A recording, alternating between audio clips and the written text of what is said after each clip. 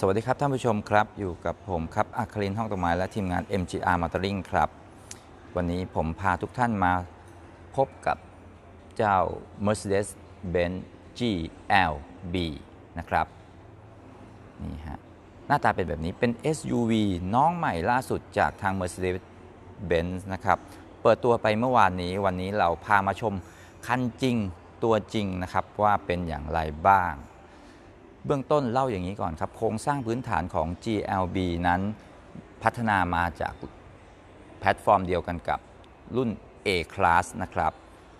นี่ฮะด้วยไซส์ด้วยขนาดใหญ่กว่าตัว A Class นะครับ แต่ว่าจะเล็กกว่าตัว GLC อยู่นิดหน่อยนะครับ ไม่ไม่มากนะครับ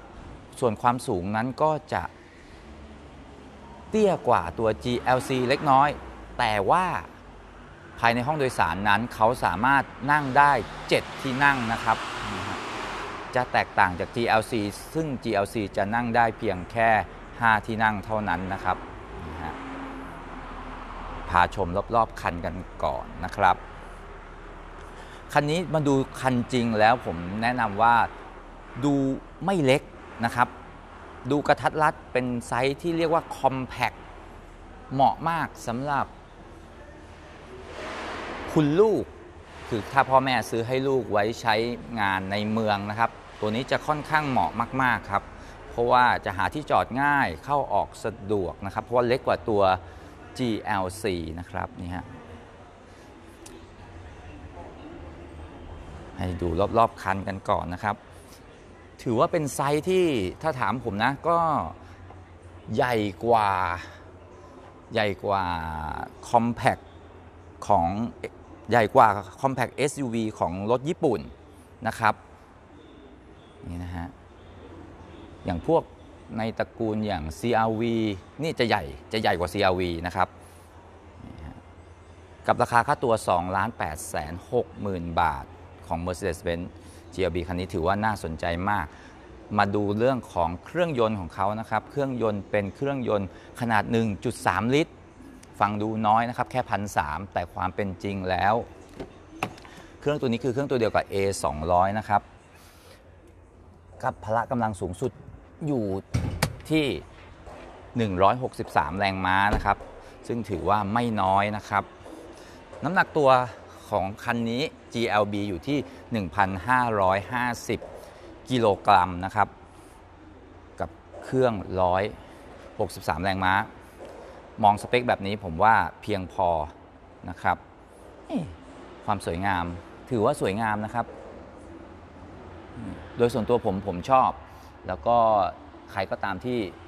ติดตามผมมาโดยตลอดผมจะไม่ค่อยคอมเมนต์เรื่องความสวยเท่าไหร่ แต่อย่างคันนี้ต้องยอมรับว่าถูกจริตกับผม ผมถึงบอกว่าสวยนะครับ นี่ฮะดูไฟหน้า ไฟหน้ามาแบบเต็มแล้วก็เป็นดีไซน์ใหม่นะครับ มี daytime running light อยู่ตรงนี้ด้วยนะครับอะให้ดูเครื่องยนต์กันสักนิดนึงนะครับนี่ฮะตัวขนาดเครื่องยนต์ที่เล็กไม่ได้แปลว่ามันไม่พอนะครับ พละกำลัง ผมว่าเพียงพอเลยฮะ 163 แรงม้ากับแรงบิดที่ 250 นิวตันเมตร นั้นถือว่าสบายๆเลย ยิ่ง เทียบกับตัว A Class ที่ผมเคยทดลองขับมาแล้วนะครับ ตัวนั้นผมชอบมากๆครับ ช่วงต้นพละกำลังในการออกตัวดีมากนะครับ แล้วก็ความเร็วปลายนั้นก็ไหล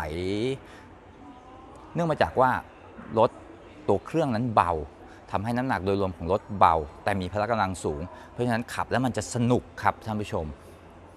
นี่ฮะนี่คือเครื่องยนต์เราเห็นว่าเล็ก ไม่ใช่ปัญหา เพราะว่าเอาพุตคือผลลัพธ์ของเขานั้น มีพละกำลังที่เพียงพอต่อการใช้งานครับนี่ฮะให้ชมรอบๆคันกันเป็นที่เรียบร้อยแล้วนะครับ เดี๋ยวจะพาไปดูข้างในนะครับเอาละนี่ฮะภายในนั้นเป็นอีกสิ่งหนึ่งที่ผมค่อนข้างชอบมากเป็นพิเศษครับ เพราะว่ามันมากับดีไซน์ใหม่ทั้งหมดนะครับนี่ฮะ จอเป็นจอแบบยาวแล้วครับท่านผู้ชม ดูและที่สำคัญภาษาไทยด้วยครับรองรับการใช้งานภาษาไทยด้วยนี่ชอบมากกับดีไซน์พวกนี้แล้วเนี่ยเป็นจอยาว คล้ายๆ รุ่น A-Class แต่ว่ามันให้ความรู้สึกที่โปร่งและใหญ่กว่านะครับ ในความรู้สึกของผมนะนี่ฮะเดี๋ยวให้ดูจากทางด้านหลังดีกว่านี่ครับ นี่ครับผม จากทางด้านหลังจะเห็นค่อนข้างชัดนะครับว่า นี่ฮะเดี๋ยวให้ดูฮัลโหลอะ ไฟติดแล้วนี่ผมไฟเพดานนะครับ ช่วยเสริม อะ เราก็จะเห็นกันชัดขึ้นนะครับ นี่ครับ จอเป็นจอชุดใหม่ที่สามารถใช้ระบบสัมผัสได้นะครับ เนี่ยตรงนี้ผมชอบจริงๆ และที่สำคัญคือระบบนำทางนั้น เป็นระบบนำทางแบบ GPS ที่เชื่อมต่อผ่านซิมการ์ดแล้วนะครับ ไม่ใช่เป็นระบบนำทางที่ใช้ SD card เพราะฉะนั้นทุกอย่างจะเป็นแบบเรียลไทม์นะครับนี่ฮะนี่คือข้อดีอันหนึ่งของ GLB การมีซิมการ์ดช่วยในแง่ของอะไร ตรงนี้ครับ ขออนุญาตปิดไฟนะครับ นี่ฮะ เห็นตรงนี้ไหมฮะ เป็นรูปโทรศัพท์กับ Mercedes มีแล้วก็โทรศัพท์แบบ S แล้วก็ SOS ตรงจุดนี้ก็คือง่ายๆฮะ เป็นตัวช่วยเวลาที่เกิดเหตุฉุกเฉิน SOS กด SOS เลยนะครับ ก็จะมีคนมาช่วยเรา หรือถ้าเราหลงทางกดปุ่มที่เป็นปุ่มมีเนี่ยฮะ โทรไปถาม หรือว่าเราอยากรู้อะไรหรือเหงา โทรไปคุยกับ call center ได้นะครับ เหงาเหงาๆก็ก็โทรก็โทรหาได้นะครับ นี่ฮะเอานะครับ การออกแบบดีไซน์ภายในหลาย ๆ ส่วนจะมาในสไตล์ของมินิมอลครับเล็กค่อนข้างเล็กนะฮะตัวคอนโซลกลางเนี่ยถือว่าเล็กเทียบเทียบกับขนาดฝ่ามือผมเห็นไหมครับเนี่ยฮะแค่แค่ฝ่ามือกว่าๆเท่านั้นเองนะครับจะค่อนข้างเล็ก แต่ถ้าเป็น GLC นั้นจะใหญ่มาก ตัวนี้เป็นดีไซน์ใหม่ของระบบแอร์นะครับปรับนี่ครับมากับมินิมอล นี่ฮะเบาะที่นั่งหลัง ที่นั่งหลังนั้นค่อนข้างกว้างครับ นี่ให้ดูนะฮะ ถือว่ากว้างขวางเลยนะครับ แล้วก็ปรับระดับได้3 3ระดับนะครับ รวมถึงการปรับเลื่อนนี่นะฮะ การปรับเลื่อน เลื่อนไปทางด้านหน้า เลื่อนมาทางด้านหลัง เลื่อนได้ทั้งหน้าและหลังนะครับนี่ฮะ ตัวเบาะเองก็สามารถปรับพับเอนได้นี่ครับ ส่วนที่นั่งแถวหลังนะครับนี่ให้ดู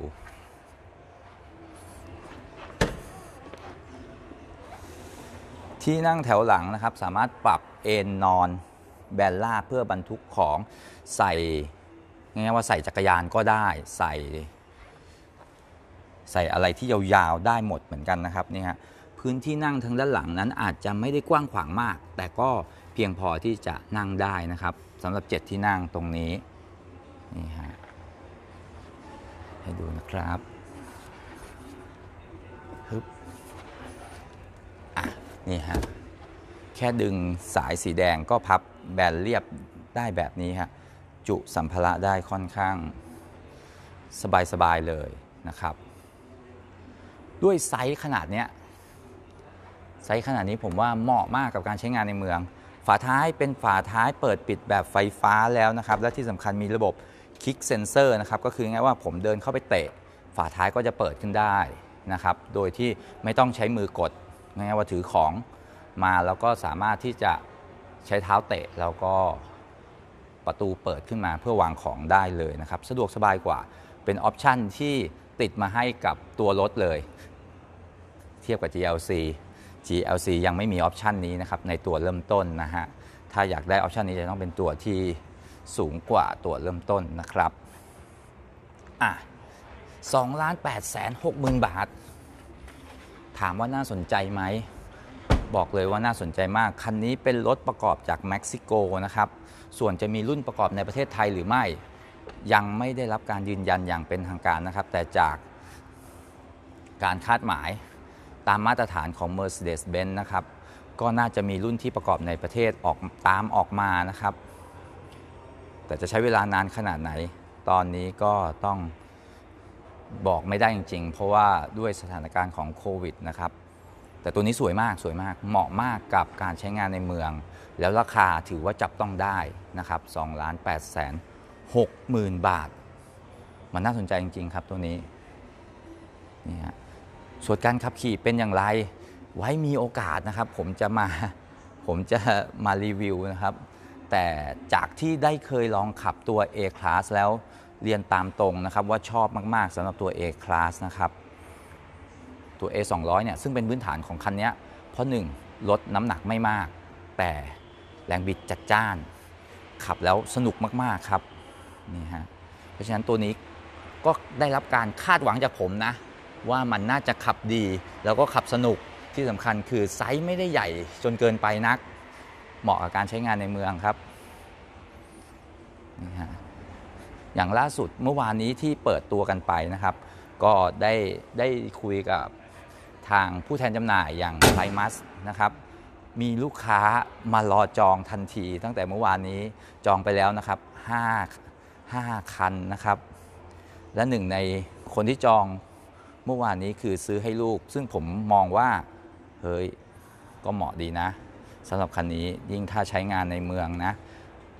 ขนเพื่อนขนของคล่องตัวใช้ได้เลยครับ และที่สำคัญคือ มันเป็น Mercedes-Benz นะครับ เอาละเรียบร้อยครบถ้วนพอหอมปากหอมคอนะครับสำหรับตัว GLB 200 Progressive มีเพียงรุ่นย่อยรุ่นเดียวเท่านั้น ราคาเดียวเท่านั้น 2 8 6 0 0 0 0 บาทนะครับ มองจากตรงนี้ยังไงก็ดูน่าสนใจมาก ๆ ถามผมว่าซื้อได้ไหมซื้อได้เลยนะครับ กับราคาแบบนี้ เพราะเราไม่สามารถบอกได้ว่ารุ่นประกอบในประเทศจะมาเมื่อไหร่นะครับ มาหรือไม่ เพราะว่าทั้งนี้ทั้งนั้นต้องขึ้นอยู่กับยอดขายด้วย ถ้ายอดขายไม่ได้มาก จนถึงขนาดที่จะต้องขึ้นรายประกอบได้ เขาก็อาจจะไม่ขึ้นรายประกอบนะครับ